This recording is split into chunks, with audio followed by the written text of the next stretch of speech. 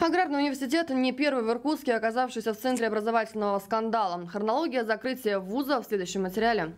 Масштабные проблемы в сфере высшего образования региона начались в 2012 году. Вскрыл их мониторинг эффективности государственных вузов. Деятельность сразу четырех учебных заведений вызвала вопросы у Министерства образования и науки России. Отстоять право продолжать работу под прежней вывеской смогли не все. Восточно-Сибирская академия образования вошла в состав ИГУ, а бывший ИНЯС перешел под крыло Московского лингвистического университета, став его филиалом. Лихорадить вузы областного центра перестало, но лишь на время. В 2015 2015 настал черед Сибирской академии права, экономики и управления. Ее образовательная программа не соответствовала стандартам преподавания. У заведения отозвали лицензию. Студентов перевели в другие вузы. Но одним из самых громких случаев стало расформирование теперь уже филиала Московского лингвистического университета. Большинство специальностей оказались не аккредитованы. Весной 2016-го вуз прекратил свое существование. В его здании сейчас обучаются студенты госуниверситета.